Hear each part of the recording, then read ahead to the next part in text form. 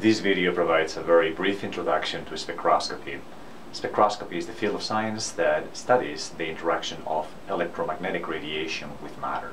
Okay, so we're going to have a sample uh, that consists of uh, molecules or a material, right? And, and what we know uh, from our quantum mechanics studies is that uh, energy levels in those uh, molecules in that sample, they are quantized. Okay, so we're going to simplify uh, those quantized energy levels by just drawing a few of them. Okay, we're going to call these the first energy level, that is the second energy level, and so forth. Right, so what spectroscopy does is it uh, is able to engage those energy levels by shining electromagnetic radiation, okay, and in the most common form of spectroscopy, which is absorption spectroscopy, uh, what you do is you uh, promote the system from a low energy state to a high energy state as long as the difference in energy between these two states that are bridged by the uh, excitation have the same energy as the photon uh, that you're actually shining on the sample. Right, so uh, there's something that we call the resonance condition for all spectroscopies, which is like this. The energy of the photon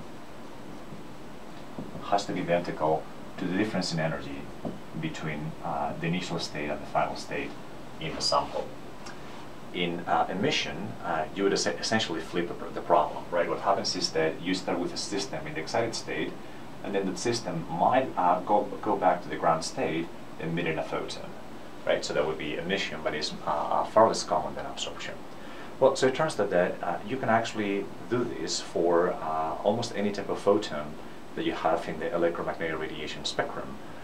we're actually going to see the ones that are more common for chemistry, and those would be as follows. So going in, in terms of uh, decreasing energy, you would have uh, photons in the UV-Vis range, then you will have photons in the infrared, then you will have photons in the microwave, and finally you will have photons of radio frequency uh, uh properties.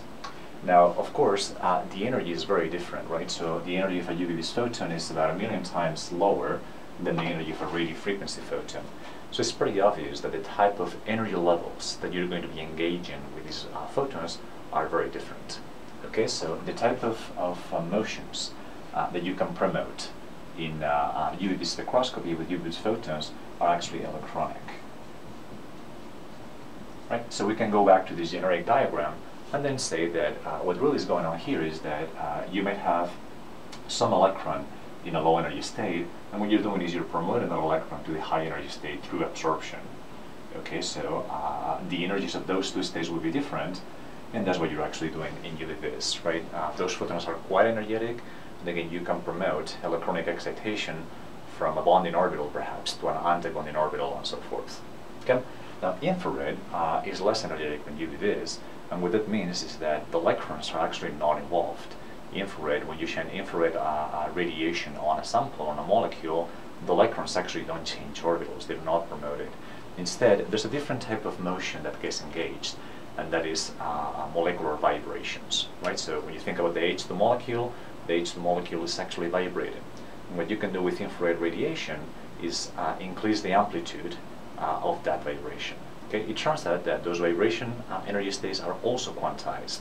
Right, so what you would be doing is promoting the molecule from a low vibrational state to a high vibrational state. Okay, but the key here is to recognize that infrared engages molecular uh, vibrations.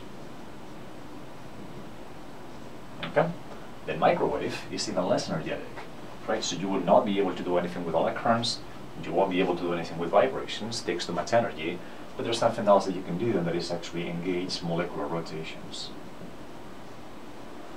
Okay, so you have a molecule in the gas phase, like this one. Okay, what will happen is that the molecule may be rotating or not, and then you shine a microwave photon, and then you can actually make it rotate. Okay, those rotations are also quantized, right? So you can have uh, a set of energy levels, and you're applying, you're promoting the system between uh, rotational energy levels. And finally, radio frequency, what we can do, the, the most common application of radio frequency spectroscopy is to change the nuclear spin.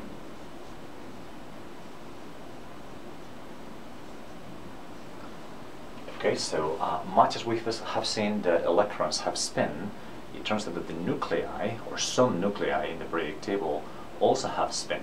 And, and uh, uh, the way that we interpret that spin is like this. The, the, many of the nuclei can actually spin only this way, so up or down. So with a radio frequency photon, what you can actually do is invert uh, this spinning uh, oscillation, right, this spin in motion, and be able to change that spin quantum number. Those spin states are also quantized, and again, that's something that you can uh, engage with radio frequency um, uh, photons. Right, so the important thing to remember here is what is the, uh, the foundation of spectroscopy. Again, you're, you're just uh, having a photon that is coincident uh, with the difference in energy between two energy states. And depending on the photons that you're shining, you can actually have, you can engage various energy states in molecules. Again, UV-Vis, you would actually be promoting electronic transitions, infrared vibrational transitions, microwave uh, rotations, and then in, uh, with radio frequency ph photons, you will be uh, promoting nuclear spin transitions. Uh, the techniques that we get out of this are NMR, nuclear magnetic resonance, and of course MRI, which is just an application of nuclear magnetic resonance. Alright, so in this video we have uh, introduced the concept of spectroscopy, and uh, we have seen uh, generalities of it and different types of spectroscopy that are useful in chemistry.